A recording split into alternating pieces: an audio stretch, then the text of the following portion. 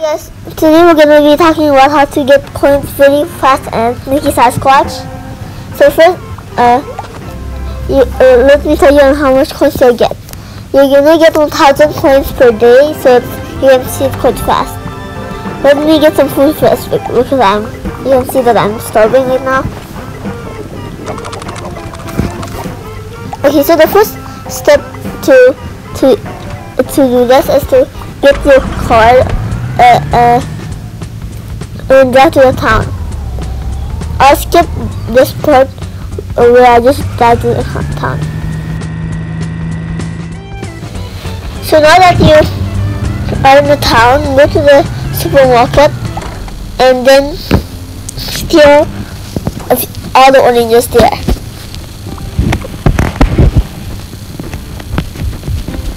So uh, eat the least oranges as you can if you want the most money.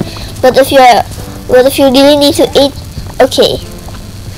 So, so if you don't know uh, how to steal the supermarket correctly, is to hide in the toilet, or you can just drive off.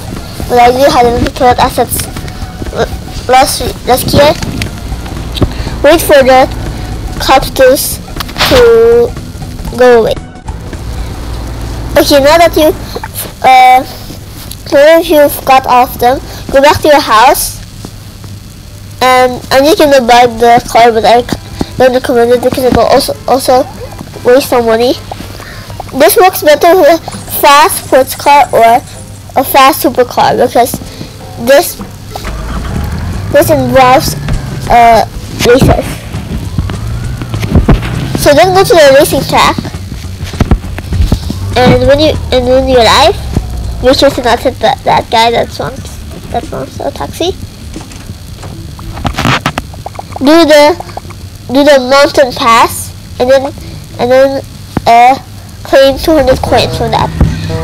As you see, this this race gives a lot of coins, and when you, if, and if you already have a fast a fast enough car, you can easily get some. I'll skip the I'll skip the race. Okay, now that we've done the racing, uh, quickly go to the, uh, the ski mountain. this works better if you have a snow cabin, but if you don't, just use a bus driver. Then go to the vitamin C skier dude, and use. And then sell him all the oranges you got.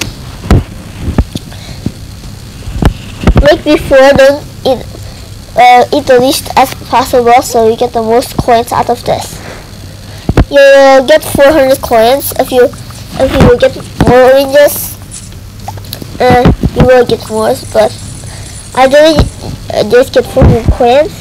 And yeah bye